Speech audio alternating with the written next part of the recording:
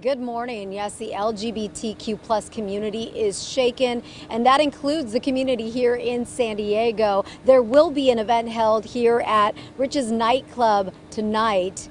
Since yesterday's Colorado tragedy, people have been coming out, holding vigils, and demonstrating a show of strength.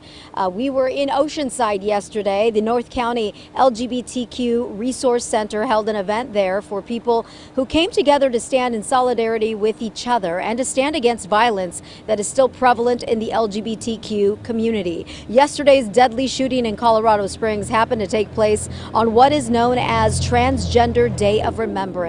This is a day set aside to honor transgender people who have been killed all of us in the LGBTQIA plus community have to encounter this danger and what's most important is that we have the solidarity. I think just underscores how this is still a critical issue for our community, just basic safety. What has transformed it is community. What has transformed it is love, pushing through and advocating for equity, justice, compassion.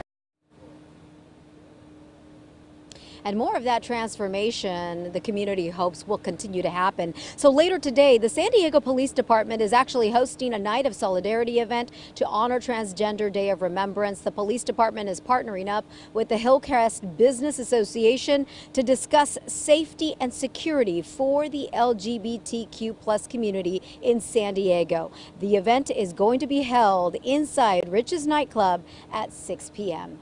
That is the very latest from Hillcrest this morning. Guys, we're going to send things back to you in the studio for now.